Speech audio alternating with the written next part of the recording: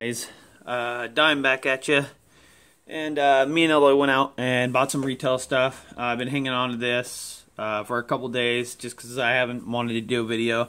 But I got that uh, 2018 Panini flat box. Uh, says find one autograph per average.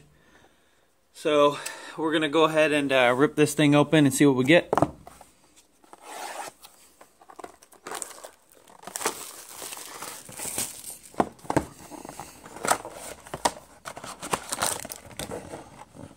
empty box, pack of cards.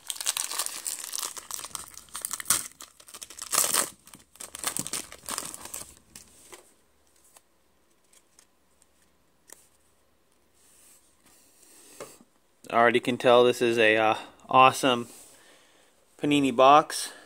I don't know if you can see that, but check out those corners. Whole top of that card anyways, Collins, Lewis, Gronkowski, White, Washington, Ryan, Doyle, Perriman, Gurley, uh, Elijah Penny, and we've got a Joe Schobert out of 50, 9 out of 50.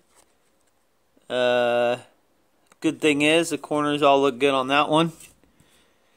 And then look at that. A Saquon out of 50 rookie card. 21 out of 50. And that one, the corners aren't all banged up on.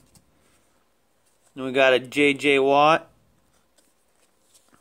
And that one is 9 out of 50.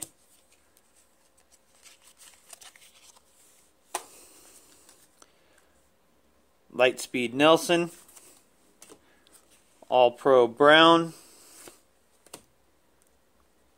We got Nick Chubb, Whitehead, Deon Cain, JT Barrett,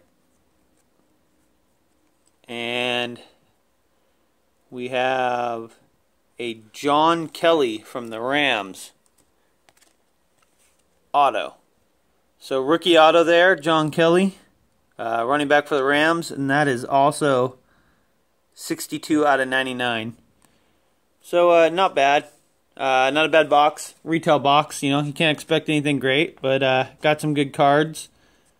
Um, go back through here and find those ones that are were beat up.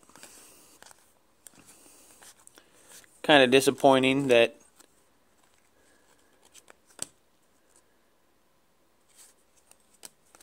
it uh it seems like there's been a lot of product this year that uh have had damaged cards in it.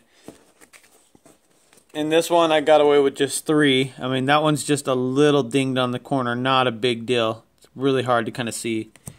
Uh the Jourdan Lewis same thing, just the tip of the corner, you can kind of see it there. It's going backwards this Landon Collins card is just, uh, yeah, I don't know.